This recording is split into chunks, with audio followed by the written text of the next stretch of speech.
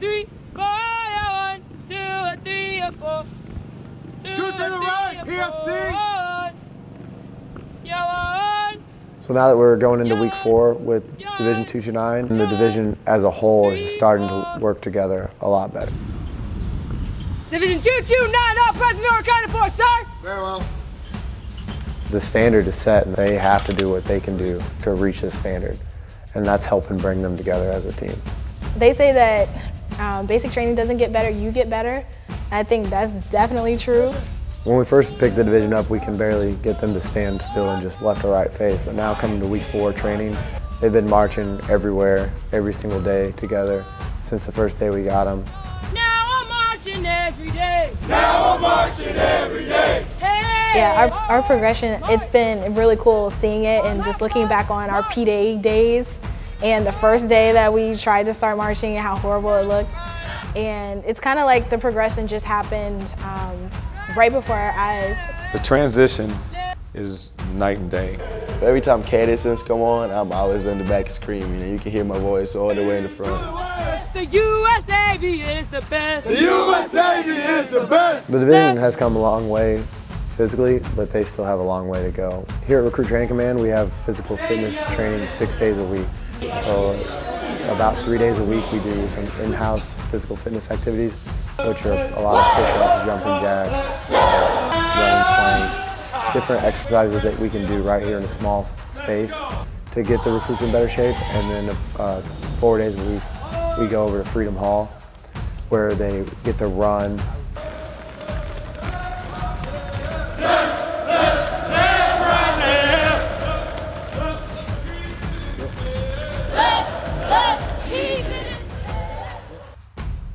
So it's all a building block to get them up to the standard that the Navy wants them to be at prior to leaving Recruit Training Command.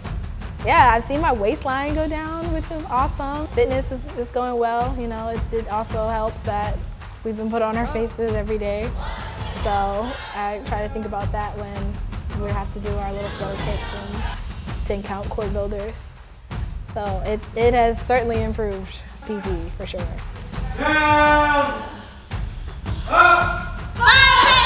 From my perspective, I do think we are good friends, Chief. In a professional standpoint, yes, Chief.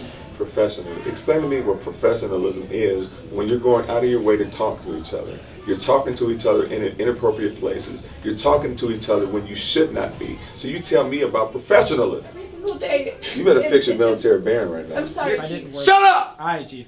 Here's the point conversations shouldn't be had. Friends. Not in my boot camp.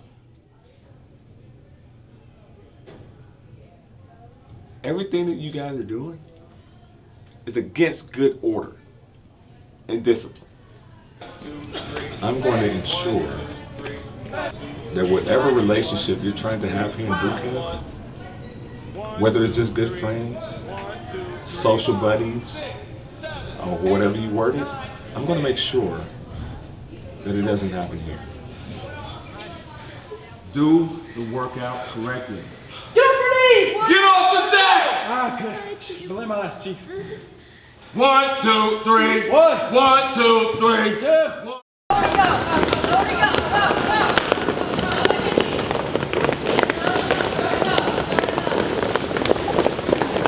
Go, Stephen Fred, hurry up. Two, two, nine. Are you ready?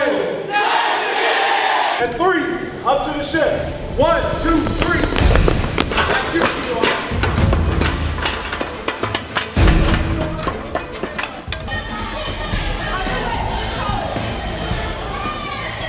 Marlinspike is a huge team evolution. Get up here. Move, move, move. So if a division feels that they, they operate as a team, they get the Marlinspike and they find out exactly what real teamwork is. Learning how to tie a knot and cast off the line and actually tie down the ship, I felt like was a lot more practical. Everybody has to be able to get the ship underway. And so when it comes down to line handling, when it comes down to that Marlinspike evolution, they got to work together. Life before Marlinspike and life after Marlinspike was night and day. Go, we got this, let's go! Slam it, slam it! So that was really hard, but I felt like it made us, it forced us to work together.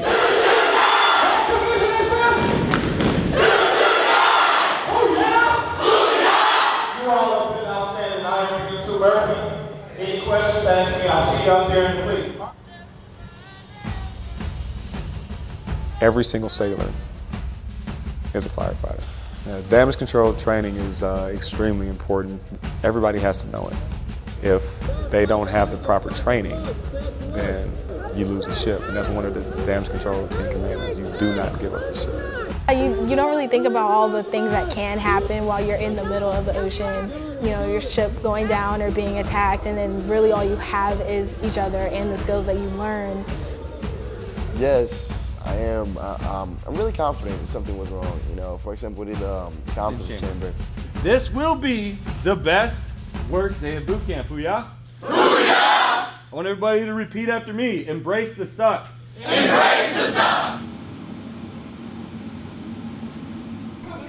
You would think, okay, so is this mask really gonna cover me and keep me alive? It's called confidence chamber for a reason. It gives you the confidence on the equipment of the Navy.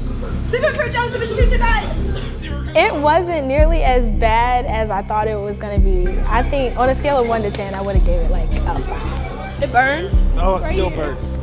Like right under my nose. It burns. But I think we sized it a little bit more than we needed to. Man, my, I just cried a lot. My eyes were watering. They're still watering. Man, I really didn't call for it. Like, it wasn't that bad as I said it was. All right, you know what? Y'all got confidence in that gear? That's what I'm talking about. Y'all see this? That means it's a good day. Good day to be in the Navy.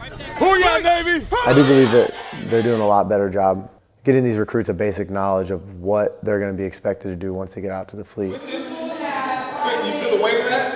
Just imagine 150 feet, 150 PSI shooting out the end of this nozzle, and you don't have controls. So I know when I came to boot camp nine years ago, we had a three or four day course on firefighting and then two days on line handling. And now the recruits are getting it every single week once they hit week four until the, the week they graduate.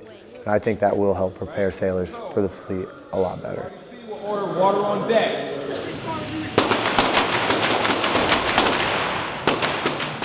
One of the primary things that we all do as instructors is we give these recruits uh, the experience, the, the real life experience of, first of all, handling this weapon in an environment that's close to reality. It's not quiet, it's not passive. Uh, it, it's going to take enthusiasm to survive in an environment like this. So that's pretty much what we do. Get a good aggressive stance. Point it at your target like you mean it. Verify the weapon's clear and safe. I didn't miss my target, which was great. So I think I did all right. I, enjoyed it. I enjoyed shooting the, uh, shooting weapons.